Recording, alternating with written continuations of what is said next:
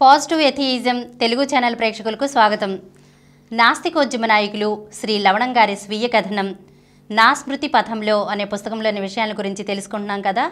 ఈరోజు ఎపిసోడ్లో మరికొన్ని విషయాల గురించి తెలుసుకుందాం. నేను ముదునూరులో హిందీ చదువుకుంటున్న రోజుల్లోనే పంతొమ్మిది వందల నలభై ఐదు ఆగస్టు ఆరో తారీఖున అమెరికా జపాన్లోని హిరోషిమా నగరంపై ఆటంబాం వేసింది. లక్షలాది జనం చనిపోయారు. ఇంకా ఎన్నో లక్షల మంది శాశ్వతంగా వికలాంగులు రోగిస్టులు అయ్యారు. రెండు రోజుల తర్వాత నాగసాకి పట్టణం మీద కూడా అమెరికా ఆటంబాంబు వేసింది. దాంతో జపాన్ లొంగిపోయింది. అంతకుముందే యూరప్లో జర్మనీ లొంగిపోయింది. ఈ విధంగా రెండవ ప్రపంచ యుద్ధం ఆగిపోయింది. ఆ వార్తలన్నీ పత్రికల్లో చదివేవాళ్ళం వివరంగా అనేక కోణాల నుంచి చర్చిస్తూ ఉండేవాళ్ళం. మరొక ప్రక్క భారతదేశానికి స్వాతంత్రం గురించి చర్చలు ప్రారంభమయ్యాయి. అయితే దేశ విభజన అనివార్యం అనే సూచనలు రోజురోజుకి పెరిగిపోతున్నాయి. రాజగోపాలాచారి అంబేద్కర్ లాంటి వాళ్ళు కూడా పాకిస్తాన్ వేర్పాటువాదాన్ని సమర్థిస్తూ వచ్చారు. కమ్యూనిస్టులు క్రాస్గా ఎడమ చేతి వైపు కాంగ్రెస్ జెండా కుడి చేతి వైపు ముస్లిం లీగ్ జెండా పెట్టి మధ్యలో కమ్యూనిస్టు జెండా పెట్టేవారు. కాంగ్రెస్ని ముస్లిం లీగ్ని తామే కలపగలం అన్నట్లు. రాజకీయ వాతావరణం వేడివేడిగా తయారైంది. ఆ సమయంలో సేవాగ్రాం వెళ్ళిన గాంధీ తరచూ తనతో మాట్లాడటానికి వచ్చే నాయకులతో చాలా బిజీగా ఉండేవాళ్ళు. వీలైనంత వరకు దేశ విభజన ఆపాలని గాంధీజీ అభిప్రాయం. ఆ రోజుల్లో హిందూ మహాసభ వారు ముస్లిం మెజార్టీ గల రాష్ట్రాలు పాకిస్తాన్గా విడిపోతే ఇతర రాష్ట్రాల్లో ఉన్న ముస్లింలు కూడా పాకిస్తాన్కి వెళ్ళిపోతారని అప్పుడు విభజనానంతర భారతదేశం హిందూ దేశం అవుతుందని భావించి అలా ప్రచారం చేసేవాళ్ళు. వచ్చిన వారు నాన్నగారితో ఈ విషయాలన్నీ చర్చిస్తూ ఉంటే నాకు లోతుగా కాకపోయినా కొంత కొంత అర్థం అవుతూ ఉండేవి. ఆ రోజుల్లోనే దాసు రామస్వామి గారు ఉన్నత చదువుల కోసమని ఇంగ్లాండ్ వెళ్ళారు. ఆ రోజుల్లోనే గుంటూరు జిల్లా నెడుబ్రోల్లో ఆచార్య రంగాగారి ఆధ్వర్యంలో రైతాంగ విద్యాలయం శిక్షణా తరగతులు నడిపారు. అవి నెల రోజులు. నెల రోజులు కూడా గాంధేయ ఆర్థికవేత్త జేసీ కుమారప్ప గారి తమ్ముడు భరతన్ కుమారప్ప రంగాగారు క్లాసులు తీసుకున్నారు. నాన్నగారు కూడా కొన్ని క్లాసులు తీసుకున్నారు. నేను కూడా ఆ విద్యాలయానికి వెళ్ళాను. అందరిలోకి చిన్నవాడిని నేనే.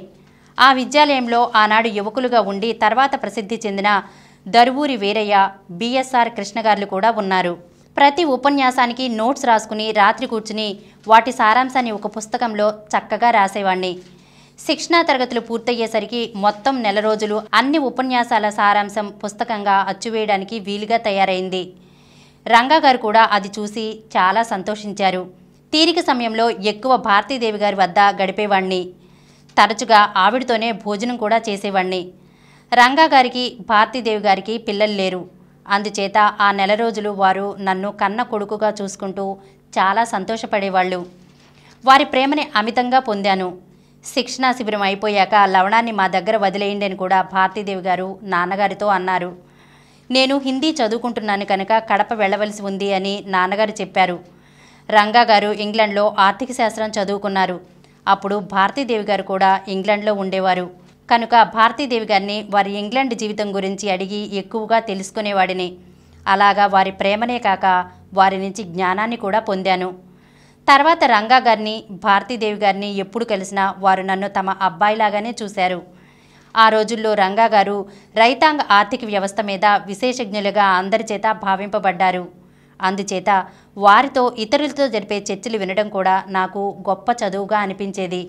పంతొమ్మిది వందల నలభై ఆరు జూలైలో నేను కడప వెళ్ళాను. అది నేను ఒక్కడినే చేసిన పెద్ద ప్రయాణం. అంతకుముందు మద్రాసులో ఉన్నప్పుడు ఒకసారి ముదునూరు ఒంటరిగా వచ్చాను. ఇంటికి రావడం కనుక తెలిసిన ప్రయాణం. ఇది తెలియని కొత్త ప్రదేశానికి ప్రయాణం. విజయవాడ నుంచి నంద్యాలకు రైల్లో వెళ్ళి అక్కడి నుంచి కడపకు బస్సులో వెళ్ళాను. ఊరు బయట చెమ్మనిగిరిపేటలో చిత్తూరు వెళ్ళే రోడ్డు మీద ఒక పురాతన భవనంలో మా విద్యాలయం. ఊరికి రెండు మైళ్ళ దూరంలో ఉంది. నాకు దారి తెలియదు కనుక గొర్రెపబండి మాట్లాడుకుని వెళ్ళాను.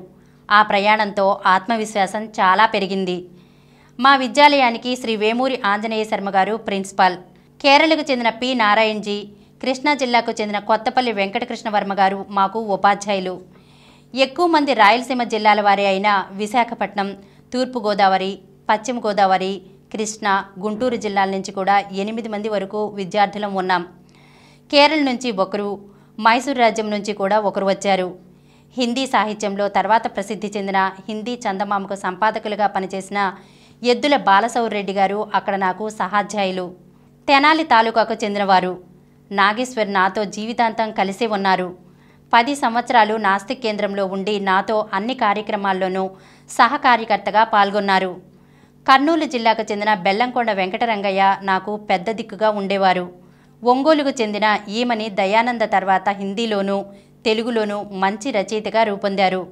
ఈ విధంగా ఆ విద్యాలయంలో చదివిన చాలామందిమి తర్వాత ప్రసిద్ధి చెందాము. మాకు విద్యాలయానికి ఆదివారం సెలవు ఇచ్చేవారు. మేము ఊళ్ళోకి వెళ్ళి ఏ పని చేసుకోవాలన్నా ఆదివారం చాలా పనులకు సెలవు. అందుచేత మా సెలవుని బుధవారానికి మార్చమని కోరగా అందరూ ఆమోదించి సెలవుని బుధవారానికి మార్చడం జరిగింది. ఈ సూచన చేసినందువలన నాకు విద్యార్థుల్లో నాయకుడుగా గుర్తింపు లభించింది. దానిపై కొంతమంది అంతకంటే పెద్దది సాధించాలని పూనుకున్నారు. భారతదేశం అంతా గ్రామాల్లో సైతం బియ్యం కానీ గోధుమలు కానీ మనిషికి పన్నెండు ఔన్సులు ఇచ్చేవారు. మేము విద్యార్థులమని మాకు ఎక్కువ శక్తి కావాలని మాకు మనిషికి పద్నాలుగు ఔన్సులు మంజూరు చేశారు. దీన్ని పదహారు ఔన్సులు చేయమని కోరుతూ విద్యార్థుల చేత సమ్మె చేయించాలని ఆ విద్యార్థి మిత్రులు ప్రయత్నాలు చేశారు. ఈ విషయం మీద జిల్లా రేషన్ ఆఫీసర్ వద్దకు ప్రతినిధి వర్గం వెళ్ళి మాట్లాడినా ఈ కోరిక సరియైనది కాదని అందరూ నిందించారే తప్ప ఎవరూ సమర్థించలేదు. నేను మొదట్లోనే ఈ కోరిక సరియైనది కాదని దీనిని ఎవరూ సమర్థించరని చెప్పి వారికి విరోధి అయినాను. ఇది మొదట్లో కొంత సర్కారు రాయలసీమ విద్యార్థుల మధ్య విభజనగా తయారయ్యే ప్రమాదం కనిపించింది. నేను వారి దగ్గరికి వెళ్ళి మనం సాధించుకోగలిగే మరో డిమాండ్ మీరు ఆలోచించండి. నేను మీతో పూర్తిగా సహకరిస్తాను. రేషన్ పెంచడం అనేది ఎవరి చేతిలోనూ లేని విషయమని ప్రాధేయపూర్వకంగా చెప్పడం కొంత పనిచేసింది ఆ గ్రూపు నాయకుడిని నేను మా విద్యాలయ విద్యార్థి నాయకుడిగా ప్రతిపాదించి ఏకగ్రీవంగా ఎన్నిక జరిగేట్లు చూడటంతో అపోహలు తొలగిపోయి ఏ భేదభావము లేకుండా నలభై మంది విద్యార్థులము ఒక తల్లి బిడ్డలాగా సమిష్టిగా ప్రతి పని చేశాం. దీంతో నైతిక నాయకత్వం నాదిగా అయ్యింది. నన్ను సంప్రదించందే ఎవరూ ఏమీ చేసేవారు కాదు. కడప పట్టణానికి రెండవ చివర ఒక వేరుశనగ పప్పుల మిల్లులో ఐదారుగురు పిల్లలకి నన్ను హిందీ చెప్పమని విద్యాలయ నిర్వాహకులు ఆదేశించారు. నాకు నడిచి వెళ్ళడం గంట అక్కడ పాఠం చెప్పడం గంట మళ్ళీ తిరిగి రావడం గంట. నేను రోజు ఉదయం ఆరు గంటలకు బయలుదేరి ఏడు గంటలకు వెళ్ళేవాణ్ణి. పిల్లల్ని చేరేటప్పటికి అరగంట పట్టేది. ఒక గంట పాఠం చెప్పి మళ్ళీ విద్యాలయానికి వచ్చేసరికి తొమ్మిదిన్నర అయ్యేది. విద్యార్థులందరూ టిఫిన్ చేసేసి నా ఒక్కడి టిఫిన్ తీసి ఉంచేవారు. నేను గబగబా స్నానం చేసి బట్టలు కూడా ఉతుక్కుని టిఫిన్ తిని పది గంటలకు క్లాసుకు తయారయ్యేవాణ్ణి. మాకు విద్యాలయంలో ఐదు వందలకు పైగా హిందీ పుస్తకాలతో మంచి లైబ్రరీ ఉండేది. నేను ఉదయం చదువు చెప్పడానికి వెళ్ళేటప్పుడు వచ్చేటప్పుడు నడుస్తూ చదివేవాణ్ణి లేదా చదువుతూ నడిచేవాణ్ణి. ఆ విధంగా సగానికి పైగా పుస్తకాలు చదివేశాను. ఆ లైబ్రరీ నుంచి నేను చదివినన్ని పుస్తకాలు కనీసం అందులో సగం కూడా ఎవరూ చదవలేదు. ఈ చదవడం నాకు విషయ జ్ఞానాన్ని ఇచ్చింది. హిందీ భాషపై అధికారాన్ని ఇచ్చింది. ఈరోజు ఎపిసోడ్లో లవణం గారికి సంబంధించిన కొన్ని విషయాల గురించి తెలుసుకున్నాం కదా? మరిన్ని ఆసక్తికరమైన విషయాలను తెలుసుకోవడానికై మా ఛానల్కు సబ్స్క్రైబ్ చేసి మా వీడియోస్ని ఎప్పటికప్పుడు వీక్షిస్తూ మరింత విజ్ఞానాన్ని పొందగలరని ఆశిస్తూ thank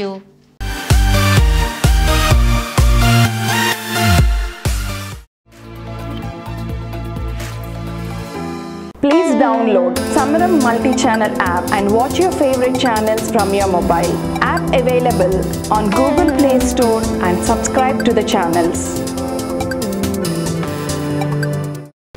కొత్త వీడియోల కోసం మా ఛానల్కి సబ్స్క్రైబ్ చేయండి. క్రింద ఉన్న బెల్ ఐకాన్ని యాక్టివేట్ చేయండి.